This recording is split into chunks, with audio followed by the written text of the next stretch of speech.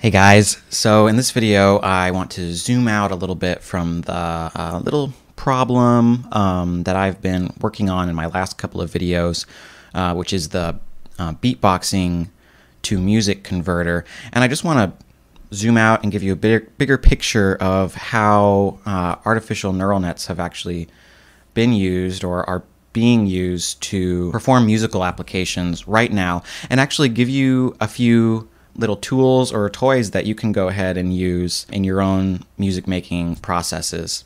Okay, so the ones that we're going to look at here are going to be Jukebox by OpenAI.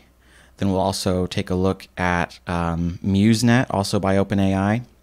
We'll take a quick look at some tools from Magenta, or uh, one specifically. And then we're also going to look at this program called AIVA. Okay, so uh, let's get started here.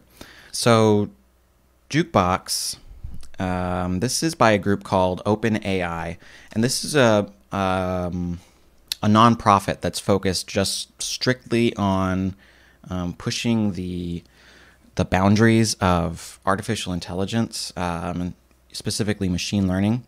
Um, and so what they have here, Jukebox, so let's just look at the description here. We're introducing Jukebox, a neural net that generates music, including rudimentary singing, as raw audio in a variety of genres and artist styles. We're releasing the model weights and code along with a tool to explore the generated samples. Um, and so then they have, they actually published this as a uh, paper. Um, and then like a scientific paper, and then also um, they're sharing the the code. Um, and so let's scroll down here. Um, and so here's what they here's what they have.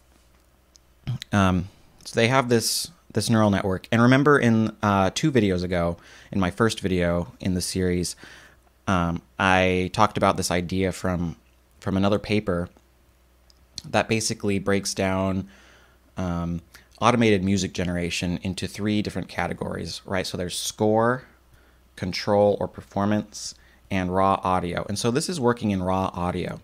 So what they've done is they've fed in a bunch of raw um, music audio to this algorithm, and then they're having it learn about that that audio. Basically, uh, what does it take to make music? Just out of audio samples. And then they're going to have that algorithm actually go ahead and, and produce new music of its own. Um, and so generally the way they do that is they tell it, uh, give me um, a song in a particular genre um, in the style of a particular artist. Or also they'll do um, a completion where they give it the beginning of a song and then they say, okay, go ahead and extend this. And so that's called conditioning uh, the model. So let's go ahead and look at some of their results here. Um, so let's play uh, blues rock in the style of Joe Bonamassa.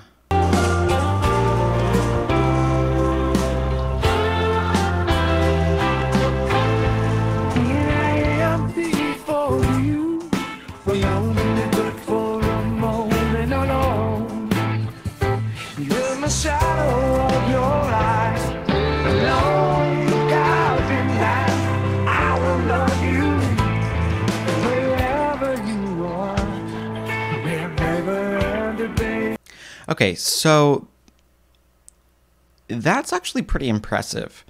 Um, they're just working in raw audio, and um, the AI is actually also writing these lyrics and then singing the lyrics too.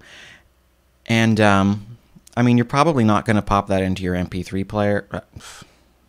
No one even uses those anymore. But anyways, you're you're, you're not going to download this and listen to it over and over again. Um, but like it sounds like music, um, and it actually sounds like singing, and you can recognize some words from it. Um, and so the fact that this is just done in raw audio is pretty crazy. Let's take a look at one more here.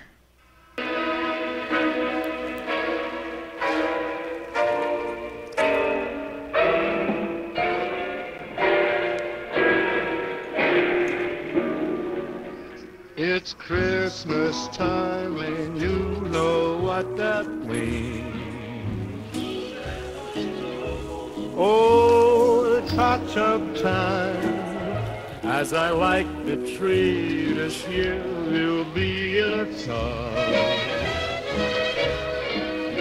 Oh, it's hot tub time. It's Christmas time.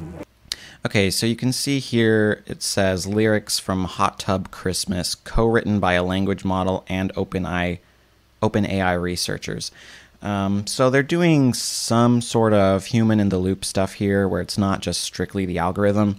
Um, but still, we know that the audio of both the instruments and the singing is done by the AI. So this is a really cool result. Um, so here you can see explore all samples. That'll take you over here to this window. And they have a lot of samples here that you can uh, that you can check out, and you can sort of filter them by different parameters. Um, so I encourage you to check this out. It's it's pretty neat, and um, just imagine where this will go, like in a year or two. Um, especially because I think they said they're going to share the the model weights and code. Yeah, so it would take some some effort, I think, to go ahead and adapt this into your own music project. But um, you know, if you have the ability, you should definitely go ahead and try to do that. So here's they also release um, a version of this as a Google Colab notebook called Interacting with Jukebox.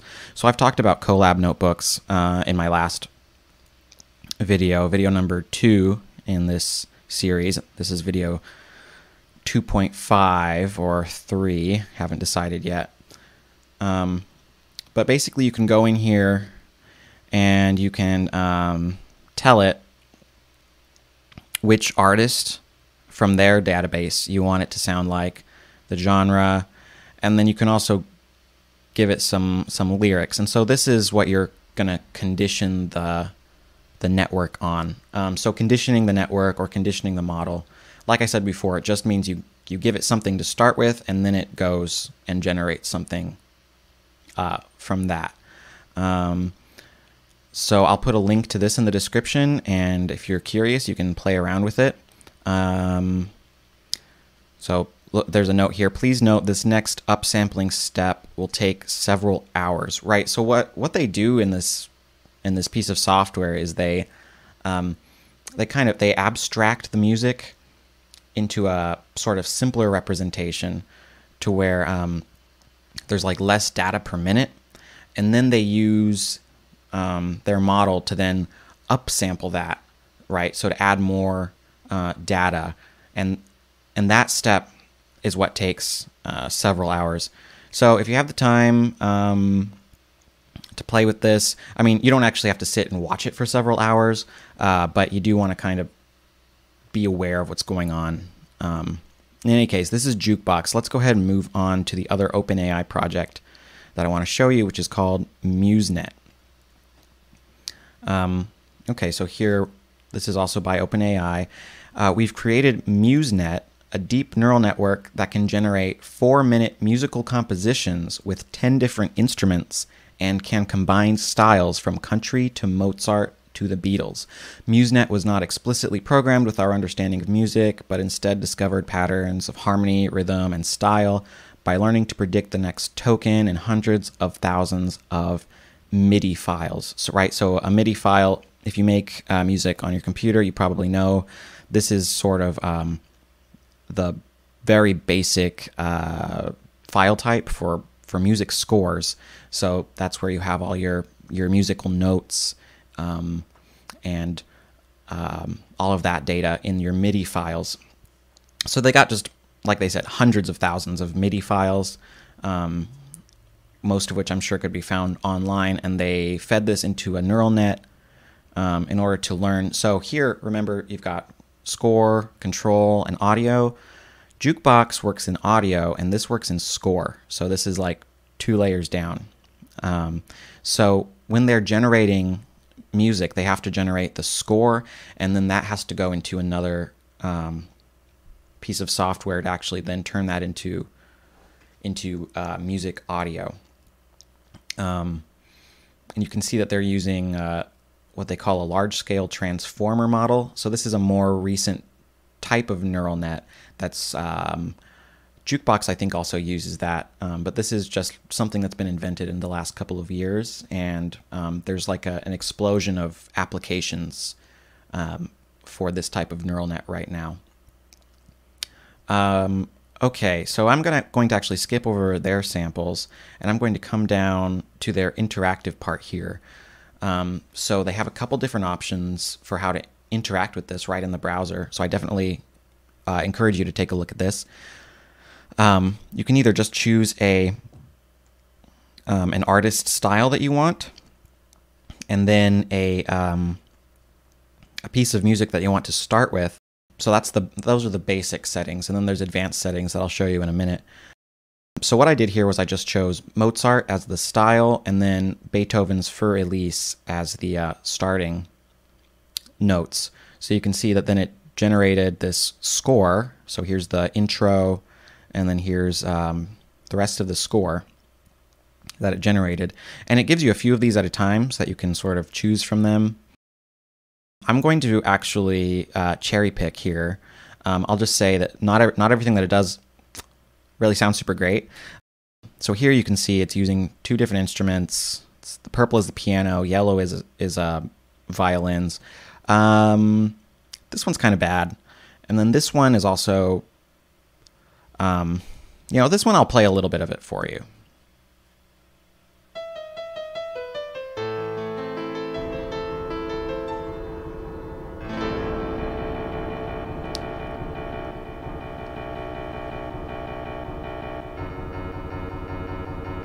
So you can see it's kind of interesting. It has that flourish at the beginning, and then it has this dramatic um, bass line, um, very staccato piano notes, and then later on it does some interesting stuff. But overall, um, it's kind of boring this this bit. And and this is the thing is that uh, these models aren't perfect yet. Uh, they have they have a long way to go. They don't they don't really know what's interesting about music or how to really make good music.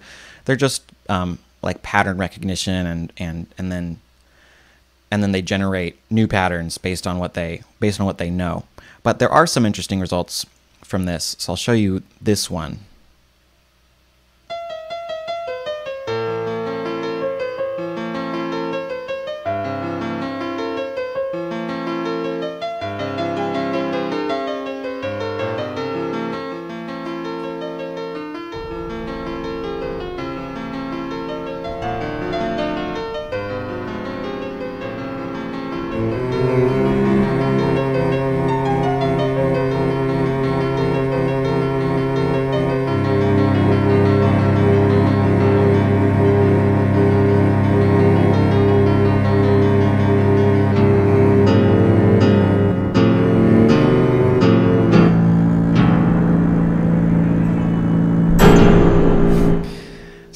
Funny ending there. But you can see that one that one doesn't just get super repetitive and you can see you can both hear and see that it is carrying forward some of the structure of the the intro and sort of uh, responding to it or, or extending it. We'll just do one more here.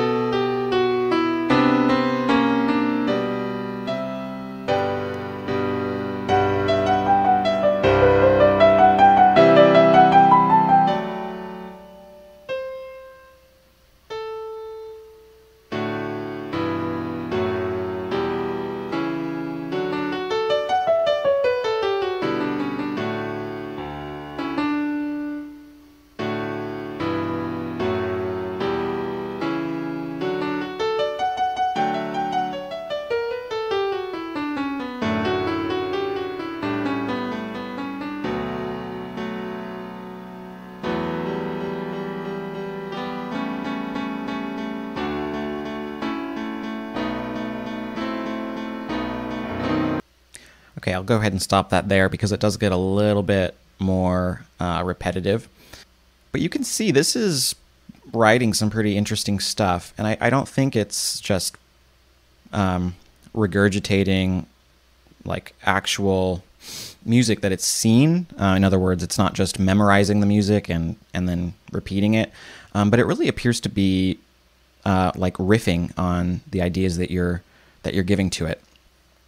Um, okay, so I want to check out also the uh, advanced settings here, and so this is really cool because what you can actually do is upload your own MIDI file, right? So you could actually go and write a song or write a little piece of music in MIDI and then upload it here. What I've got, uh, what I've done is I've gone ahead and um, downloaded this Mega Man 3 title screen uh, MIDI file from from BitMIDI, and they actually in another part of the blog post they say that they actually um, used the BitMIDI um, library um, to train MuseNet, and so then they have this the style selection, which includes video games. So I'm going to go ahead and play you some of what it's generated based on um, part of this Mega Man file. So I went into Reaper and, and cut this down, cut down the Mega Man um, theme to my favorite part, and then fed that in.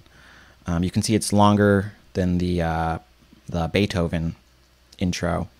Um, again, uh, I won't show you everything because one of the things that it ended up doing was actually um, just repeating what I put into it.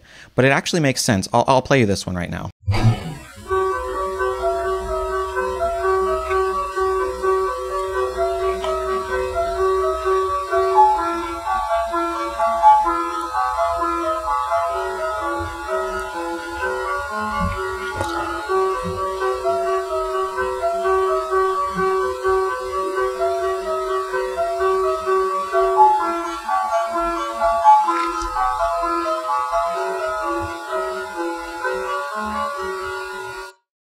So you can see it just uh, repeated the the beginning of this track, um, and in this case, it actually makes sense because it's I gave it kind of a very um, uh, a short bit, but that actually makes a good loop, and so it didn't really sound awkward there um, when it transitioned from the intro to the to the uh, completion.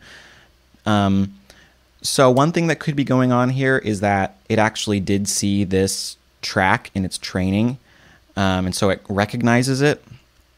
Um, and then the other thing that could be going on is it recognizes where um, a good place to end a phrase is and a good place to repeat that phrase. In any case, it, in this one, it just repeated it. Um, the second one, I'm not going to play this because what it is is here's the intro, and then there's this weird empty space and then it goes back into a repeat of the intro. So that's kind of that's kind of funky. Um, and then I think the last one did something similar.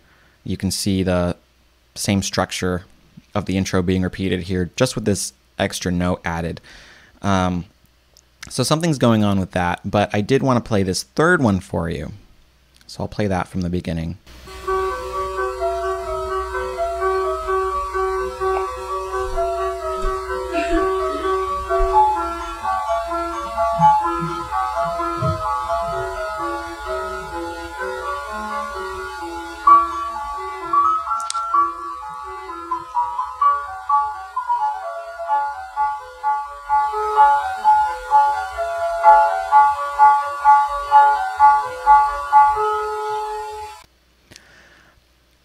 So that's a lot more interesting. Um, and I, I listened to this track before I uploaded it, um, and I, I don't think I don't think that that just came from the track. I don't think that's memorized. I think that it came up with that phrase there. Um, uh, if you are more familiar with this or you want to check it out more, um, do some investigative work here, um, please let me know. But I, I think that it invented this this whole section, um, which is an interesting section. I mean, this um, the intro kind of comes to a a nice place to stop or to to transition. Um, and then it, it, it changes the the key or changes at least the chords that it's playing and has this like really nice creative melody. So I, I was pretty excited by this. So you can actually download um, the results of what you create as either a um, an audio file or you can download the the MIDI, which might be more useful if you download the MIDI. Then you can put it into your digital audio workstation um, and synthesize it with another instrument. Check this out. Check this out. Make some make some melodies. Um, co-create with this AI. I, I I think it's pretty awesome. Okay, I have a couple more things. I know this video is getting a little on the long side, but there's just so much cool stuff to show you. Um, so now I'm going to show you Magenta. So Magenta, this is a team um, that's sort of a sub team of Google AI, and so these folks have made a lot of neural based uh, audio software. And what they have here, let's see, what they have here are a bunch of demos of this software, and they're in a, a bunch of different collections here. So you can see they've created some hardware, they've created some uh, native applications, they have some Colab notebooks, and then they have what's called Magenta JS, and then community contributions. And these are kind of similar, except um, this collection is built by the team themselves, Magenta, and then this collection is built um, by the community. So I'm going to show you one tool from the community section here. You can see there's a bunch of stuff. There's just, it's just really interesting stuff. Um, come to this page, play with these demos, um, get an idea for what's possible with this stuff. And if you're a, programmer like dive into these APIs and, and use them. Um, I just want to show you this one. It's called Tenori Off. And I already have it loaded over here. Okay, so what this is, um, is it's you know inspired by the Tenori-on drum machine, but it's using machine learning. And what it will do is, so I can create a little uh, basic pattern here. Um, okay, so let's play that.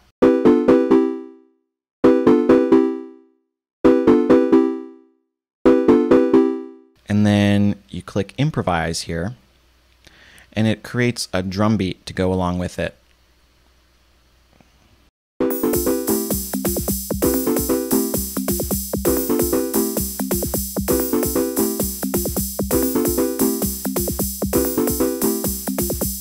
And all right, I don't want to spend too too long on this. Just come and play with it. Just just just play with it. Make some music. It's fun. Um, okay. Let's see. So that's Tenori off. It's part of Magenta. Um, let's move to the last tool here. I want to show you this. Um, so this is uh, called AIVA, and um, this is less of a like a research organization like OpenAI or Magenta. Um, this is a company that's just making a product here. It, you can see it's in beta. Um, and they're going to want me to say everything that I'm going to show you was made using AIVA. Um, I think they have the, the copyright to it because I'm a free tier user. But this is really interesting. It's basically the same thing as MuseNet, um, but it gives some different results. Um, okay, so what I've done here is I've uploaded um, a couple of things here one by Vivaldi and one by Bach. Um, and so I've, again, conditioned the model to give me some uh, compositions using these. So I'm just going to show some of these to you. Uh, let's see. Okay, so before I do, I'll, I'll say not everything that this produces is super interesting, just like with MuseNet. Um, in particular, I think that the sort of built-in um, database of of what they call influences. Doesn't really give super great results, but I was pleasantly surprised when I uploaded some of my own um, influences here. So I'll show you the results of some of these. So this this is influenced by by Bach, Toccata, and Fugue.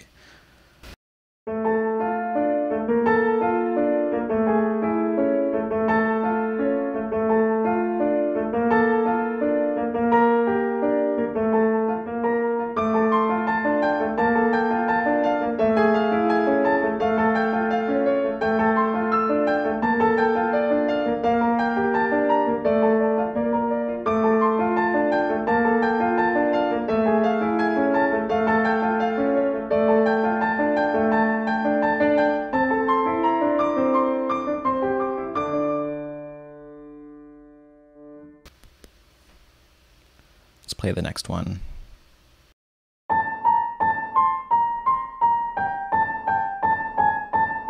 Okay, that one's bad. Like I said, they're not all good. Okay, so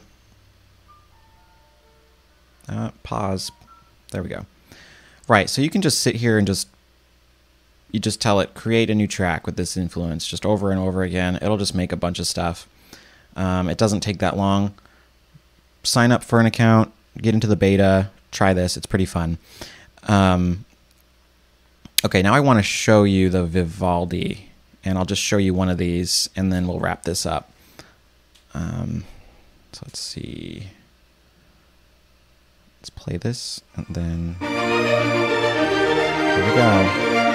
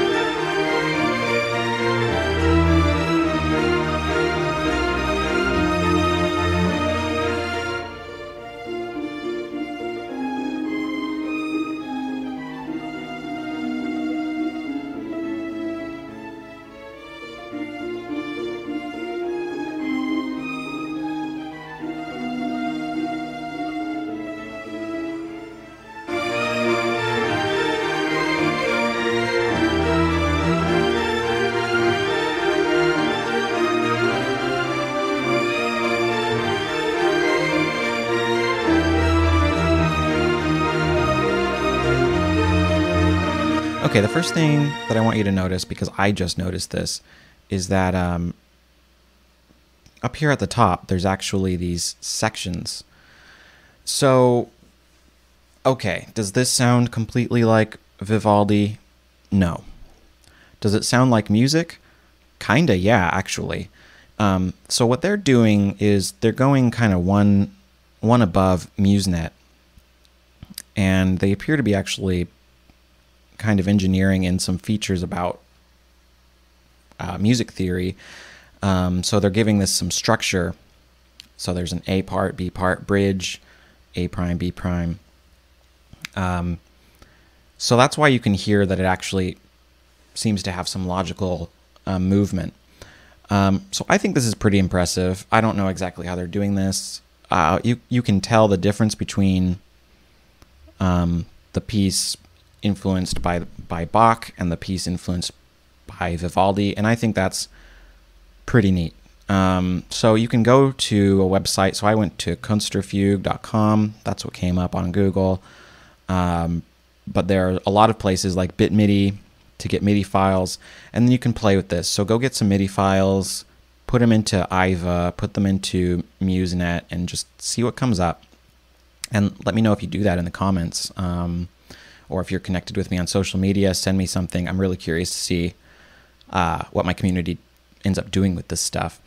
Uh, last thing I want to say if you Google AI music, um, there's quite a bit of stuff that comes up. So the year 2020, um, like not not all of these are AI musicians, um, but like Holly Herndon, um, Spawn, Sweaty Machines, um, these are all, oh, you can see AIVA down here. These are all um, artists that are using AI to make music. So I think that we're just at the very beginning of an explosion here. Um, AI touches everything, and eventually, I think this is going to be a really big deal. So if you're curious about it, if you're interested, there's so much free stuff that you can just go and, and play with. I would really encourage you to do that.